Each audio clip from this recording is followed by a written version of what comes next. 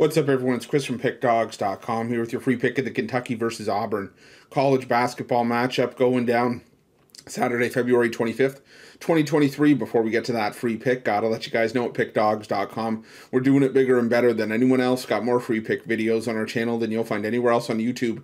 So make sure you're subscribed and also take advantage of our free sportsbook bonus offer. The link in the description of this video below. Now, while I do love giving out free picks, if you're looking for my best bets, the games I love the most, including my daily $15 best bet, check out pickdawgz.com and click the premium picks tab at the top of the page.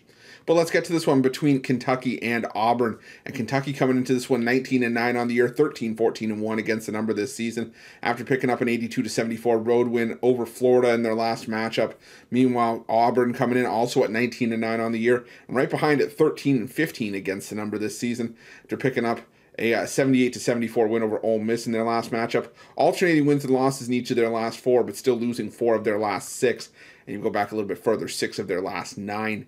And uh, you know this Auburn team, they they're capable of matching up fairly well uh, with Kentucky. You know you got Johni Broome inside for Auburn that can match up with Oscar Tshiebwe.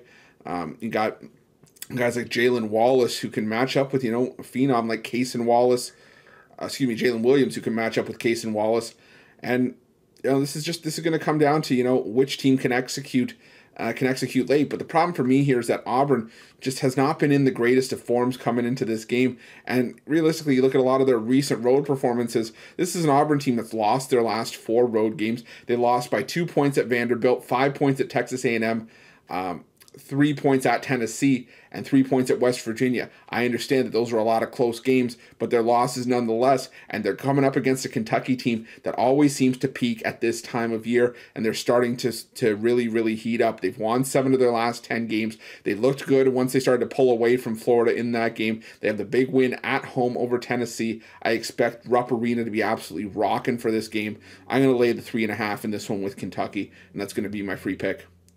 But just a reminder, if you haven't already, make sure you're subscribed to our channel, smash the like button, hit that thumbs up. It Doesn't cost you a cent and it helps us a ton. And if you're looking for my best bets, you can find those at Pick Dawgz Premium. While you're at Pick Dawgz, check out our betting tools. They're 100% free. They're the best betting tools in the business and tools that you want to make sure that you have in your back pocket when you're making your best bets for the day's action.